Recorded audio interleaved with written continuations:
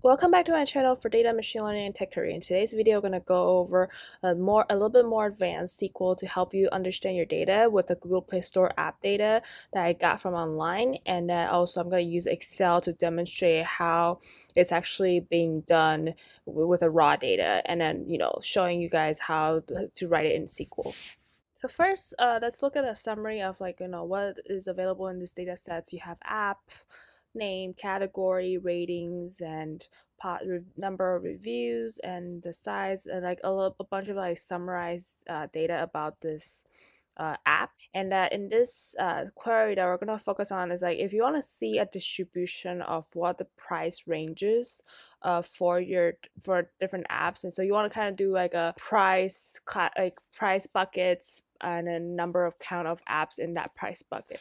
And it is in this example, we're gonna go over, you know, if want a price bucket at, uh, for every five dollars, so it would be zero to five dollars, five dollars to ten dollars, and this is the price uh, column that we have, and then this is the price bucket that we're gonna add to our data set. So if we're gonna do a price bucket of every five dollars, so zero to five, five to ten dollars, we first need to divide the price by five and so there are multiple ways of doing this in SQL. You can write a lot of case when statements to say case when price is between 0 to 5 and then 5 and then you can write that on forever until I mean you don't even know what the most expensive price point is, but that's a, just a very manual way of doing it the fastest way if you can do it is that you do price divided by 5 and then you get a fraction like this. So you have like 4.99 3.99 but they will all classify into the price dollar 5 bucket.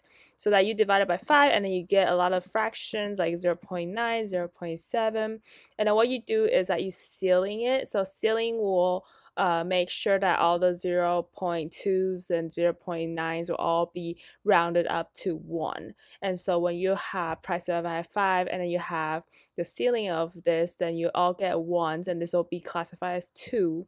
And after you do that, so you have, imagine like these numbers are going to be 1, this is going to be number 2, and then you, after ceiling that, you can multiply that by 5 then you'll have this bucket of five dollars. So these are all you know categorized into five dollars. This is categorized into ten dollar bucket because it's between five and ten.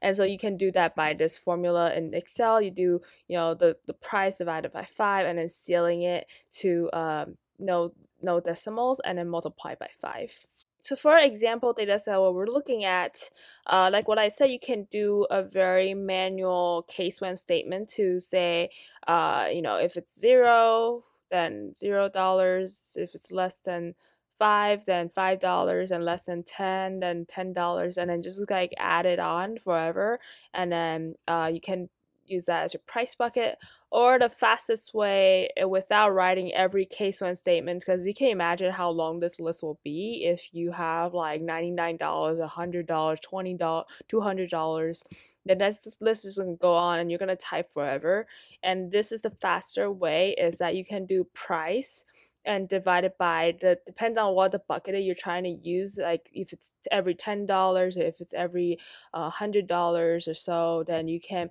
do price divided by five ceiling it and then multiply by five. Then it will give you the same result as the case when statement what I just shared is actually a very common interview question and also a very common way of like reducing, you know, manual typing in your query. And so if you want to learn more about data, please make sure you subscribe. And if you have any other like, you know, other tricks that you think is super interesting that you can also, you know, share with each other, then uh, please do so. So whenever I see a data set like this that has like you know, all the apps and the categories and then has a lot of like other, you know, like summarize metrics such as like oh what's the average star rating right now? How many reviews they had? These kind of data. I really like to like look into you know uh, the apps are not performing as well in each category and like what are the reasons of why they're not performing well. And i want to do the percentile based on the category so that because some categories might just have higher star ratings compared to others and we don't like instead of just kind of draw a line of like okay three star rating or below is bad uh, it might be the nature of that category just has a lower star rating compared to everywhere else so that we want that's why we want to use a like a percentiles rating based on the category and that's what i would use is that uh, i'll create like a kind of like another table to come up with like what's the 10th percentile of each category and then try to compare if you know if the if the star rating of this specific app is below or higher than the 10th percentile. So if it's higher then I'm not gonna select this app for my subset of data to do exploratory analysis on. And then uh, the second one is uh, below. So we definitely want to take this uh, app and then understand why is it below 10th percentile. So what I can do that is by checking what the category is. If the category is equal to art and design, then take all the star ratings uh, from the column and then calculate the 10th percentile. And 0.1 is equivalent to 10th percentile and 0.5 will be 50th percentile. So uh, make sure that you are uh, aware of like you know what percentiles are using. 10th is not just straight straight up typing 10 so how you can do that in sql is that you first create like a subquery of like for each app. You want to calculate the 10th percentile of the star rating and you and, and I, I also added just a filter here to have like reviews greater than 10 so that we're not including apps that are like newly launched or barely has any users because the the star rating might be very skewed. Uh, so just adding that filter to kind of filter out those uh, you know small sample apps um, for our percentile. And then after you create that uh, you can join it back to your original table and you can do it in a join because all the apps in your original table should be in this table since they're using the same table uh, data source. And you can do that by you know adding the or joining based on a table uh, that app so it's the app name and the percentile table that you created that app and app name. And then uh, you know you add a where filter to check if the rating of the app is uh, less than or equal to the 10th percentile. So in this case, you're going to be able to sample out all the apps that are below the 10th percentile.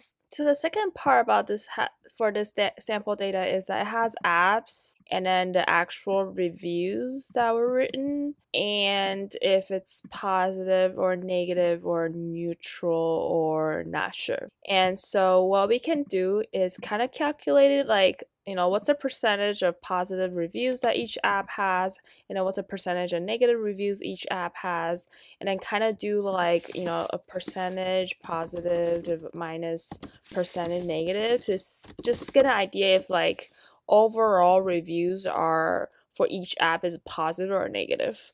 And that'll give you us a very good signal of like how like why are you know these apps below star rating or so, like specifically from the actual reviews. So the first thing you want to summarize this table is to have, you know, your app and a knowing number, like number counts of negative NAs or neutral or positive, and then also grand total to kind of get an idea of, you know, how many uh, positives and negatives you have, then you can do percentage of positive, percentage negative from there. So what you can do is that uh, in Excel, you will do it in a pivot table form. And I'm gonna, you know, like, and then this seems very straightforward from pivot table. I'm gonna show you how you can do it in so from the user reviews table we saw, there wasn't really uh, some sort of like ID to check if this review is unique or not. So we're gonna just simply think of every single row of data is uh, one review uh, without any data quality issue. And so you can, uh, you know, kind of like you can uh, count the number of positive and negative reviews by doing this in SQL. Is that you do a case when statement.